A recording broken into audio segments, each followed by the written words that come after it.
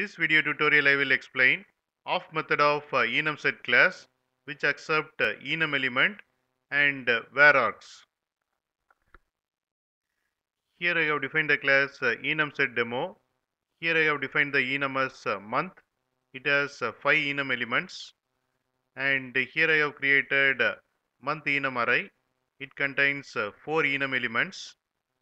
Then I am calling uh, create enum set method and passing that array. Here I am calling uh, of method of uh, enum set class and uh, passing uh, enum element as uh, jan and passing uh, this array. This method returns enum set and it contains jan enum element and all the enum elements from this array. I am running this program.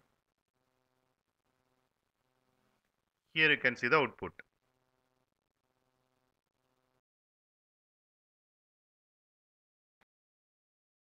You can get uh, Java source code link for uh, each video in the description section of the video.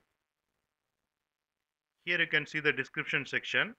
Click on uh, show more and here you can see the Java source code links. Click on these links to get the Java source code.